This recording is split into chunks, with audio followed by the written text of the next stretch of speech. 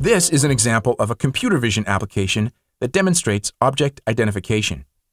It was developed by Renesas software partner Uncanny Vision and uses the Caffe deep learning framework and a convolutional neural network, or CNN, called the Uncanny DLL, which stands for Deep Learning Network, to perform the object identification. The application has been trained to recognize about a thousand different objects using a combination of live and photographed reference objects. For instance, animals, fruit, motorcycles, TV remote controls, just to name a few. And in each case, the identified object and confidence factor in the ID is shown on the screen, which is great for applications such as security cameras.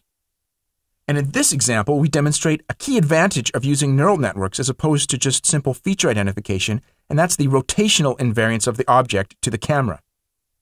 In other words, the more angles and lighting conditions the software is trained on, the more off axis the subject can be and still be recognized.